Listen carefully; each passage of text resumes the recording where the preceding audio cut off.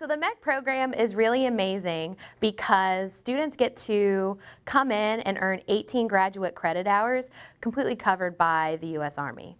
Um, so that only leaves just a couple of classes left, uh, four to be exact, towards degree completion. So when you come to MEC, it's a really amazing opportunity to work towards your Master of Arts in Higher Education Administration and get most of that completed, completely covered uh, by another funding source. So I encourage every MEC student to just take that opportunity and to really think about what their career goals are and use that uh, and, and maximize that benefit.